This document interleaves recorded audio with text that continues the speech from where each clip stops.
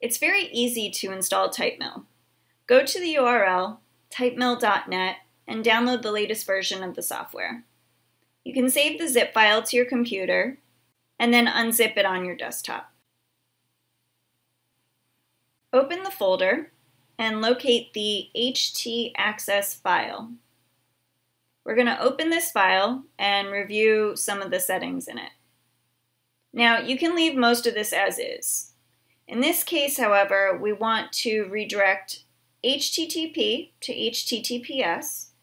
In order to do this, simply delete the corresponding comment. We also want to remove the www redirect. To do this, we delete the next comment. Finally, we want to remove the slash at the end of the URL. Again, all we need to do is delete the relevant comment. When you're done, save the file and move on. Next, we're going to upload the files to the server. And while we wait for this to finish, we can go take a look at the Typemill documentation.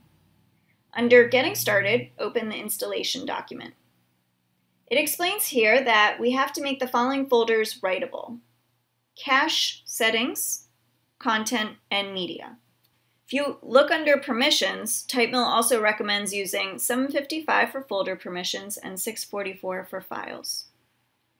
Once your files have finished uploading, go to the server and check the permissions. In this case, you can see that the permissions are already correct. If they weren't, simply edit them to match the installation settings. You can do this via FTP. You can see here that we installed Typemill under the URL typemill.com Transhow.net. It's a subdomain that works exactly like a regular domain. On the next page, Typemill will ask you to create an admin account. Fill in your username, email address, and create a secure password. You can always change these settings later. Next, you'll see the startup screen. Click this button to go to the website configuration page. There we can adjust our settings. For my website, I'm going to change the title and the author. I'm also going to set the language attribute for the front-end website to German so that the admin area is in English and the front-end website shows up in German.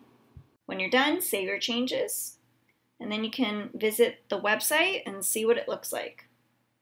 As you can see, everything works great out of the box.